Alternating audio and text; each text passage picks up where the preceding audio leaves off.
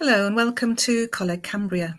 My name's Anne. I'm a lecturer at the Northop campus of Coleg Cambria and I'm here to tell you all about the Level 2 Environment and Ecology course uh, that we're running here at Northop.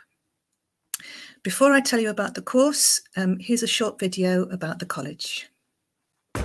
We are Cambria. We were rated excellent by Estyn inspectors.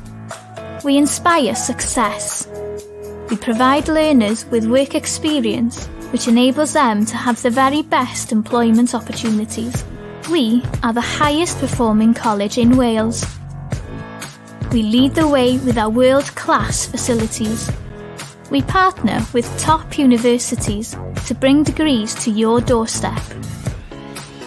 We have raised over £500,000 for charity since 2013 we impact positively on the wider communities we serve. We change thousands of lives every year. We can change yours. Your success starts here.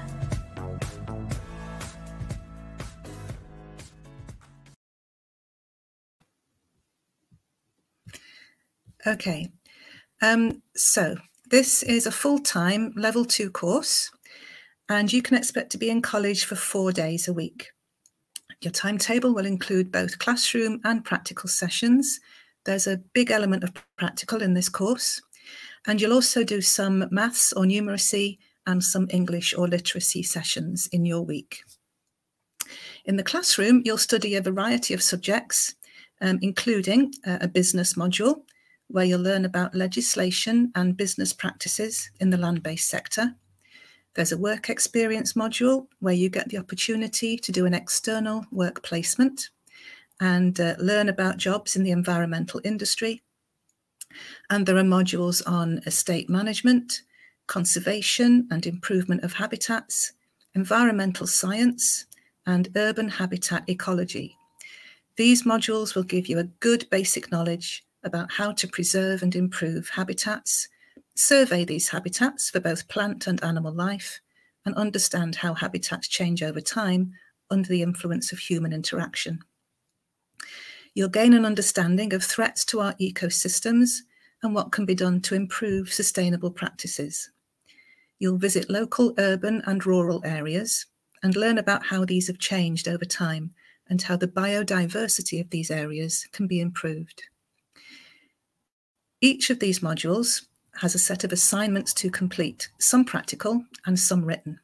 The course is assessed completely through uh, coursework, so there's a lot of written assignment work to be done, both in college and independently at home. Tickle side of things, as well as um, studying descriptive, ecological and environmental processes, you'll have an opportunity to carry out practical tasks in order to give you a good understanding of what's expected from you in the working world if you intend on becoming a ranger or working for someone like the Wildlife Trust, for example. One of the units uh, covers estates maintenance. The type of work this unit will entail is activities such as um, making fences, hedge laying, brush cutting, tree felling, uh, and general habitat management such as pond clearing. We are really fortunate here at Northop as we have an array of different habitats on site to maintain. These include woodlands, wildlife ponds and grasslands. You'll also get a chance to participate in ecological surveys such as Quadrat and Transect surveys. Feedback from this year's students is that um, the practical work in particular gives them really good real world experience of what it's like to be working in this sector and it's a good balance of practical and classroom work. And we've been sent some questions about the course, uh, which I'm going to answer now. Okay, the first question is, um, what qualifications do I need to get onto this course? Well, this is a level two course, um, so you will need a minimum of four D grades at GCSE, including maths and English language or Welsh first language, or alternatively, uh, a merit in a level one diploma. The course is open to mature students too, so if you're a mature student, then your age and experience would also be taken into account. You will also be studying English and Maths GCSE if you haven't already achieved a C in those subjects. Uh, and that will give you a chance to improve your grades and that will improve your employment prospects. Uh, the next question we have is um, about what equipment you might need for the course. Uh, well, in the classroom, you'll need pens and notebooks for making notes from, from your lectures. And an internet connection from working at home is also really helpful, but it's not essential. For your practical tasks, you'll be required to wear um, personal protective clothing. Uh, this includes protective workwear trousers and steel toe cap boots. And a raincoat is always useful because you will be required to work outdoors in all weathers. Um, our final question is about career prospects. Uh, what sort of jobs are available in the environment and ecology sector?